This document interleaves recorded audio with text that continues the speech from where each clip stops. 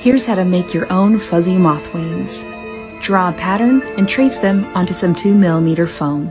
Glue some bendable wire around the edges, glue a layer of fuzzy fabric onto each side, and trim them to your liking. Now you can paint them. An airbrush makes this process go a lot faster, but you don't need it. Once the wings are dry, make a U-shaped armature out of wire and attach the wings to it. Tuck the U part into a corset or sturdy belt and here they are. I'll be finishing this Moth Fairy costume soon, so I hope to see you back.